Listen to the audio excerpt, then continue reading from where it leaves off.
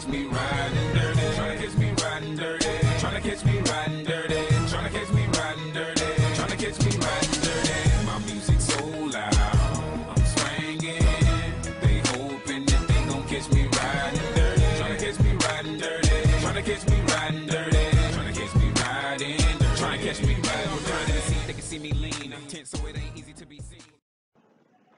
Henry Ford was born in Greenfield Township, Michigan on July 30, 1863. His father was born in County Cork, Ireland, though his family was originally from England. His mother was born in Michigan to Belgian immigrants. Ford found himself in fortunate circumstances in his early life. His father was a respected, well-to-do citizen of the community, and his city was peaceful. During this time, the country saw the beginning of a period of industrial expansion unequaled in prior history. Boys were leaving the farms as part of a growing urbanization movement that would only be outdone when mass-produced automobiles would make the suburban movement possible. When he was a child, Ford received from his father a pocket watch. By the age of 15, Henry had dismantled and reassembled timepieces for friends and neighbors so many times that he subsequently gained a reputation as a repairman of sorts for those around him. Additionally, Henry had to walk four miles to church every Sunday. These events could be seen as the catalyst for Ford's vision. A craftsman by nature, Ford found a desire to work in machines from a young age. In 1876, Ford's mother passed away. His father expressed a desire for his son to work on the farm, but Ford had been quoted as saying, I have never had any particular love for the farm. It was the mother on the farm that I loved. In 1879, Ford left home to work on an apprenticeship that involved creating machine tools and parts in Detroit. In 1882, however, he returned from his apprenticeship to work on the farm, despite his previous beliefs about such a lifestyle. While working on the farm, he grew adept at operating a portable steam engine, an experience which would later prove invaluable. The company that owned this steam engine, Westinghouse, hired him to service all of their steam engines. In 1891, Ford became an engineer with the Edison Illuminating Company and quickly escalated in rank, becoming the chief engineer just two years later. In this new position, he grew increasingly interested with technological innovation. He took a particular interest with gasoline engines. His experiments soon culminated in 1896 with the completion of a self-propelled vehicle named the Ford Quadricycle, which he would aim to improve in years to come. Ford was encouraged by Thomas Edison and completed a second vehicle in 1898. Then, with the help of C. Harold Willis, Ford designed, built, and successfully raced a 26 horsepower automobile in October 1901. The Henry Ford Company was established on November 30, 1901, and an outpouring of investment commenced in the wake of his early successes. In 1902, Ford left the company following the appointment of a man named Henry M. Leland to the position of company consultant. That same year, with a $28,000 worth of financing from a former friend named Alexander Y. Malcomson, a Detroit area coal dealer, Ford created the Ford Motor Company. Ford then demonstrated his newest design car on the ice of Lake St. Clair, driving one mile in 39.4 seconds. He set a new land speed record at 91.3 miles per hour.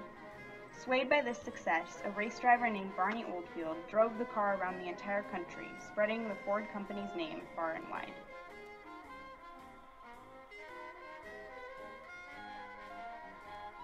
In 1800, Americans elected Thomas Jefferson as their third president.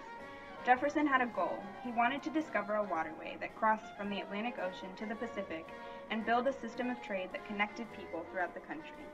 An exploration of the West took place from 1803 to 1806, led by Meriwether Lewis and William Clark. When they found no coast-to-coast waterway, a new transportation system was settled. This system involved roads, rivers, and railroad tracks. By the mid-1800s, dirt roads had been built in many parts of the nation. The use of river steamboats increased. Boats also traveled along man-made canals frequently. The local economies of the country were strengthened. The American railroad system also began to take shape around this time. Before long, it had become the most popular form of land transportation in the United States. Trains superseded a singular label as a mode of transportation. They soon found their way into the works of writers like Ralph Waldo Emerson, Nathaniel Hawthorne, and Walt Whitman. They had become a large part of American culture. In 1920, the height of the railroad craze, the rail industry was providing transportation for 1.2 billion people.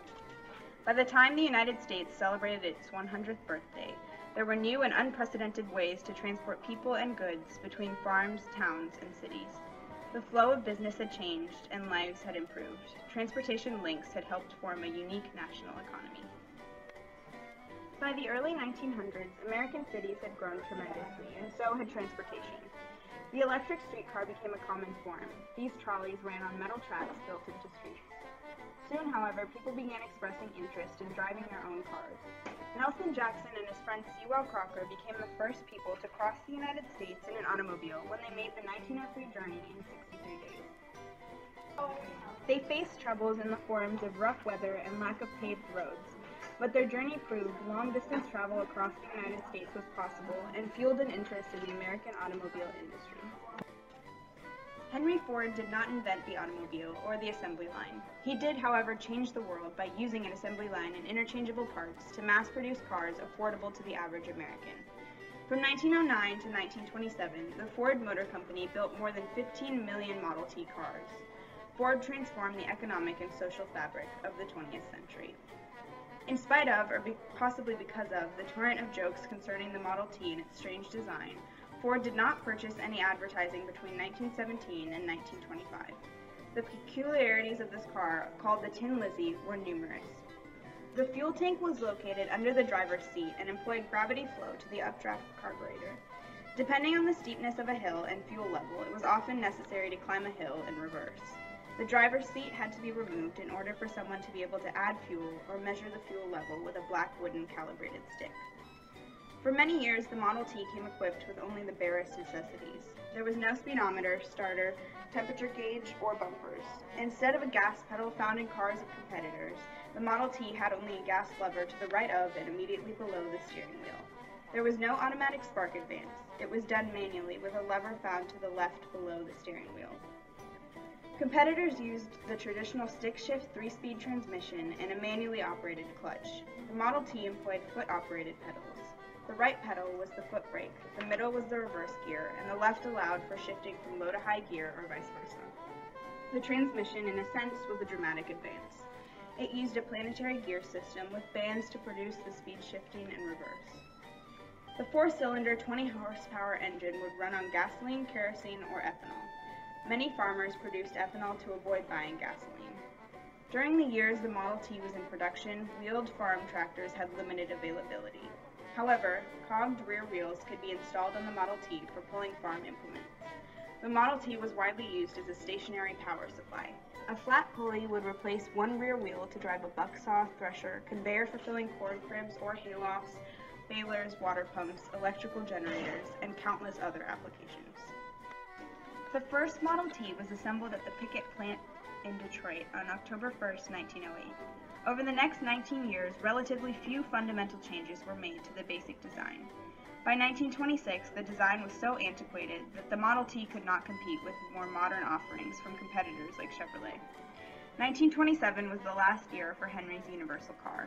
The car's run, however, was fairly long and hugely impactful on American society right from its inception.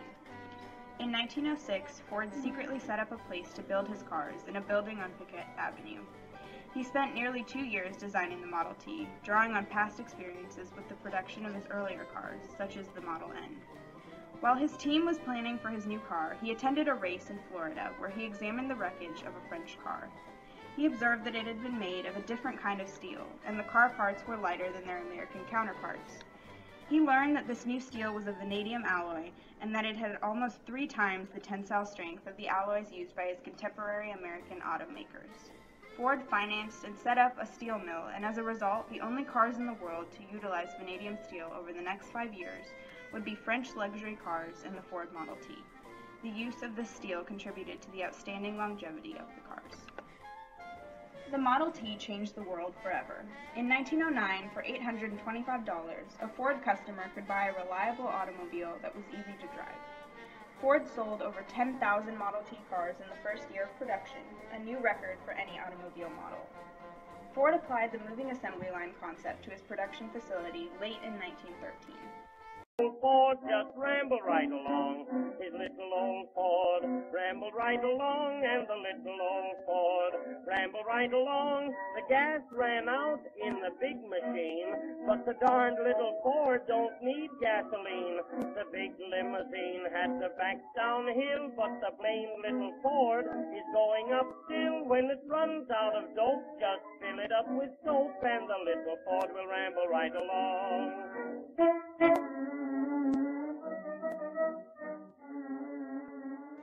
Over the years, Model T Fords came in many different models, including a runabout, roadster, town car, and four-door and two-door sedans, all built with essentially the same engine. The assembly line increased efficiency and also had a large impact in the de-skilling of labor. People were able to do easier jobs that required less skill in the factory system, a change which would continue to have results in the following decades. Production was slow at first. Ford's Piquette plant could not keep up with the demand for the Model T, and only 11 cars were built there during the first full month of production. In 1910, after assembling nearly 12,000 vehicles, Henry Ford moved the company to the new Highland Park complex. As a result, Ford's cars came off the line in three-minute intervals. The time needed to produce a Model T was reduced from 12 and a half hours to a mere 93 minutes.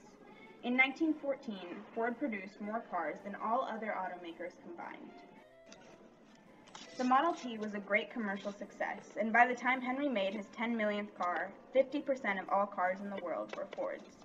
More than 15 million Model Ts were manufactured between 1917 and 1923. Production would finally be surpassed only by the Volkswagen Beetle in 1972. In 1914, Ford raised wages to $5 an hour, which was unheard of at that time. Its effects on the workplace and American society as a whole were far reaching and long lasting. The lives of most working Americans were transformed by the new mobility the Model T provided. Robert H. Casey, author of the book The Model T A Centennial History, put it this way Price and reliability were the things that first attracted people to Model Ts because the cars were the best automotive value at the time. But buyers discovered that they could do things they didn't even know they wanted to do travel at relatively high speeds, take inexpensive camping vacations, and control a rather powerful machine. Of course, many have heard the famous Henry Ford pronouncement regarding the colors available for the Model T. You can have it in any color so long as it's black. The Model T in some ways equalized and standardized American society. Practically everyone owned one, all in the same color.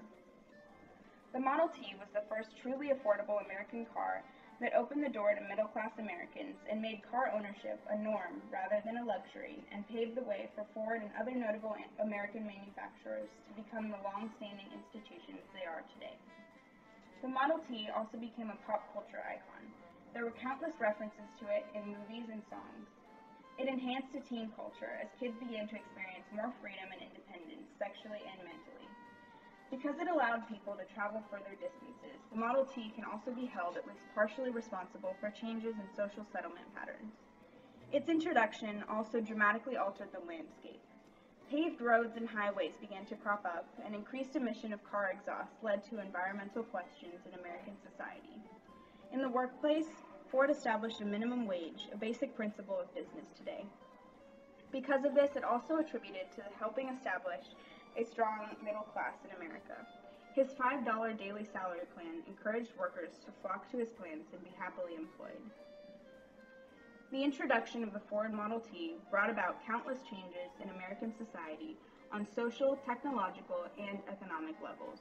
Henry Ford not only accomplished his goal of designing an affordable car, but also changed the workplace and cultural practices of American society and paved a road for automakers to come.